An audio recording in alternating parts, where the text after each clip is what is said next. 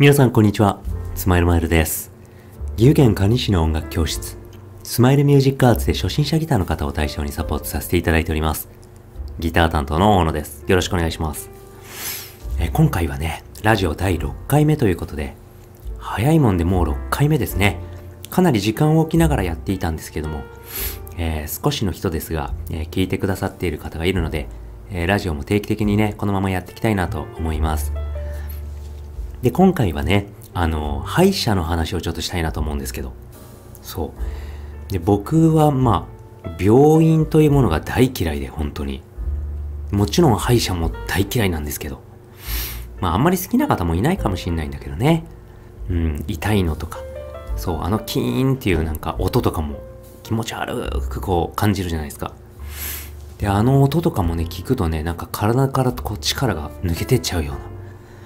そう。で、まあ、歯医者は嫌いなんですけど、まあ僕はですね、本当に歯医者に縁がありまして、あの、結構ね、昔から虫歯がよくできるんですよ。で、歯はね、結構ちゃんと磨いてるつもりなんですけど、時間をかけて磨いてもね、なぜか虫歯になるんですよね。で、結構、なんだろう、歯ブラシとかもこだわって高いのをやったりとか、いろんなタイプのものをね、やっているんですけど、なぜか虫歯になるんですよ？で、これってなんだろうね、あの、なんて言うんだろう？遺伝的なものってあるのかな？この、歯が虫歯になりやすいっていうのは。親とかの、その、遺伝とかもあるのかな？わかんないんですけど、まあ、本当にね、ほとんどの歯がね、まあ、虫歯にちょっとずつこうなったりとかして、まあ、神経抜いたりとかしてるわけなんですよ。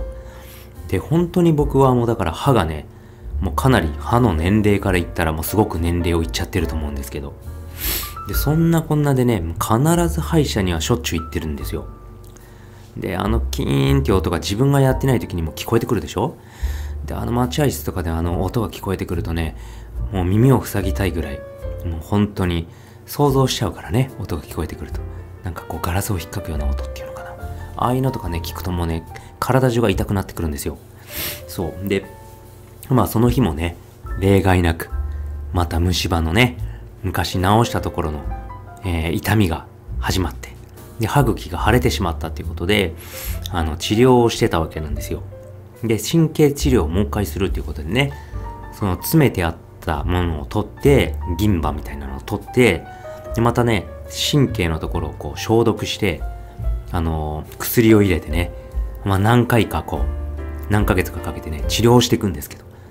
で、そんな時に、あのある日にですね、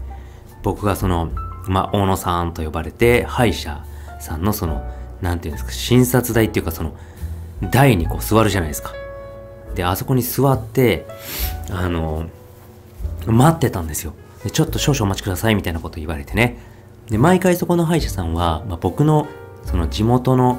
なんだろう、住宅地の方たちで、まあ、超満員なんですよ。で、すごくね、あの、時間通りにね、まず始まることがないぐらい、本当に超満員なんですよ。で、常に満員で、もうとにかくスタッフさんたちは休憩ができないぐらい忙しいわけなんです。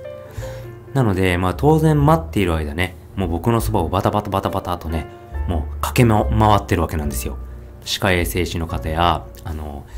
歯科のね、先生の方たちが。で、その日も、まあしばらくこう待っていたら、あの、一番最初にね、歯科衛生士の方なのかな？が、ちょっとあの、状況を見るということでね、あの、ベッドを、ね、寝かせますって言われて、ベッド倒しますみたいなこと言われて、で、こう、まあ、ベッドっていうか椅子かな？で入っていって、こう、ウィーンとこう倒れるでしょ？で、倒れて、こう、歯の調子を見てね、じゃあ、あのまた口ゆすいでお待ちくださいとかって言って、またこう、ウィーンってこう、椅子が持ち上がって、その歯科衛生士の方だと思うんですけど、が去っていったんですよ。そうしたら、なんとですね、あの、椅子のその背もたれがこう戻ってきた後に、なんでかわかんないんですけど、椅子がね、ウィーンって下がったんですよ。そう。あれって上下もするみたいですよね。上下にこう、上がったり下がったりもするし、後ろに倒れたり、前に、えー起き上がったりするんですけど。で、それが下がり始めたんですよ。まあその時はそんなに不思議じゃなかったんですけど、みるみる周りの人よりも僕の身長がこう、低くなっていくわけなんですよ。で、なんかみんなの下に潜っていくみたいな感覚になっていくわけなんですよ。で、俺なんか低くなってったなとか思ってね。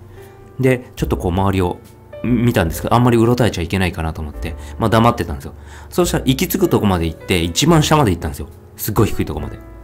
で、たまたま僕が座ってたところがちょうど待合室のところの扉を開けてね、入った1個目のその診察台だったんですよ。だから僕が下がったところとかが後ろ姿でみんなに見られてるわけなんですよ。で、まあ超満員だった日だったからね。で、後ろでみんな待ってるから、時々こっち見たりしてると思うんですよ。その時に僕のやつがこう下がって、すごい低いところにこうね、座る形になったんですよ。で、なんでこんな低くなっちゃったのかなとか思いながらね。まあでも一応これでまたね、診察したりなんかするんだろうなと思って、その時はそんなに心配してなかったんですけど、そしたら、もう本当に下がりきって10秒か20秒したかわかんないぐらいのタイミングで、今度上がり始めちゃったんですよ。ウィーンとか言ってて。おい、なんか今度上がり始めたぞと思ったらね、どんどんどんどん上がってくんですよ。そう。さっきは一番下まで上がったんですけど、どんどんどんどん上がってって、さっきみんなをこう見上げるようなもう高さだったのに、どんどんどんどん上がって、今度みんなを見、見下ろすような感じでなってちゃうわけですよ。これどこまで上がってくんだろうとか思ってね、あま、思ってたんですけど、まあそうしたらその椅子が行き着くとこまで高くなっちゃったんですよ。もう頂上まで行っちゃったってことね。その椅子が極限に高くなるところまで上がったんですよ。でもみんなをちょっと見下ろす感じになったわけなんですよ。で、まあ登り切ったとこでまた止まったんですよ。なんで急になんか椅子にこう僕がこう掲げ上げられたような感じになってるわけなんですよ。で、さすがになんかちょっと恥ずかしくなっちゃって僕も。なんで一番下にいたのに今度一番上になったんやろうと思って、なんかおかしいなと思ってたんですよ。そしたらそれに気づいて、まあ、歯科衛生士の人は慌ててね、こう戻ってきて、あ、ちょっと下げますね、とか言って言って、またボタンを押したんですよ。だ、やっぱりね、さっきの方が上げすぎちゃったんだと思って。うん。そしたらウィーンってまた下がってたんですよ。で、またその、みんな忙しいんでバタバタと僕の周りからいなくなったら、その椅子が通常のとこからまた下がり始めたんですよ。おいおい、また下がり始めたぞってことはまた上がるんじゃないとか思ったらね、案の定また上がり始めたわけなんですよ。で、またみんなをこう見下ろしたり、ね、見上げたりと。それの繰り返しになっちゃって。で、しばらくウィーンって上がったり下がったりこう繰り返してるわけですよ。でもみんな忙しいからなかなか気づかなくてね、患者さんを見てるでしょで、なんか後ろでね、その、僕のことを多分気づいた方かわかんないんですけど、その、なんだろう、待合室のとこに立ってた方がいて、なんかその、なんか女の方がなんかクスクス笑ってる声が聞こえたんですよ。でもなんか僕恥ずかしくなっちゃって、なんか上がって頂点まで行ったらまた今度一番下まで下がるでしょなんで僕だけこの忙しい中で上下運動してんだろうとか思ってね、めちゃめちゃシュールで、考えてみてくださいよ、この、みんなでね、忙しくてこう治療してる横で、僕がみんなの足元の方までね、こう下がったかと思うと、今度、天井につきそうなぐらい高く上がっていくわけですから。今日何しに来たんやろうとかって思っちゃって、そしたらまたこう、気づいた、あの、方がね、スタッフの方が慌てて走ってきて、あ、小野さんすいません、みたいな。誰が上げたんだろう？とか言いながらね、僕が上がりきったタイミングでまた下に押すんですよ。で、僕もさすがにこれはあれかなと思って、ちょっと行った方がいいかなと思って、いや、なんか上がったら今度下が、下がるんですよ、みたいな。うん。あ、そうなんですか？みたいなこと言われてね。で、下がりきったら、上がるんですよ、今度って言って言ったら、あその方がちょっとなんか、ちょっと笑い出しちゃってね、え？とか言ってて。そう。だから頂上まで行ったら一番下まで潜り込んでいくわけなんですよ。それの繰り返しをしてるんですよみたいなこと言ったら、あ、もう何回もそんなことになっちゃってるんですか？みたいな。なっちゃって、これは大変失礼しましたみたいなこと言ってね、まあその方が、あの、下がってる途中とかでもこうボタンを押して、様子を見るんですけど、ボタンを押してもね、止まらないんですよ。やっぱり下がりきるんですよ。で、また下がりきって何秒かするとまた上がり始めるってことで、で、まあしょうがないからなんかね、接続を直すためにとか言って、まあ電源入れ直したりみたいなことしてやってたらやっと治ってね。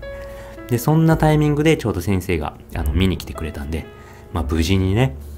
あの元の普通の高さで、えー、背もたれを倒して、えー、治療してもらうことができたわけなんですけど、まあ本当にね、まあ、ただでさえね、あんまり好きではない、その歯の治療をしてもらうときにね、なんか不思議な体験をさせてもらってね、あんなにみんなを上から見下ろしたりね、あんなに治療してる人たちの足元まで潜っていくとかね、ないですから、ね、治療してる時に。もう本当に不思議な経験をしてね、なんであの椅子は勝手にあんな潜ったりね、高くなったりしたんだろうって思うんですけど、まあその歯医者さんはね、えー今でも、まあ今日もちょうど行ってきたんですけど、まあそんなね、えーまあ大嫌いな歯医者さんなんですけど、皆さんもね、えー歯はすごく大事なんで、えー一生ね、自分の歯でやっぱりご飯とか食べれるように、歯は大事にしないといけないなっていうことで、僕自身もね、えーしっかりと、まあ、歯磨きしてるんですけど、えーたまあ、歯磨きのね、磨き残しがないようにね、えーしっかりと歯磨きをしながら、歯もいたわって、えーこれからも生活していきたいなと思います。はい、ありがとうございました。えー今回第6回目ということで、僕の大嫌いな医者の中でも、特に大嫌いな歯医者、えーそこでね、体験した、まあ、変わった体験、えー椅子の話をしてしまいました。また次回の、えーラジオでお会いしましょう。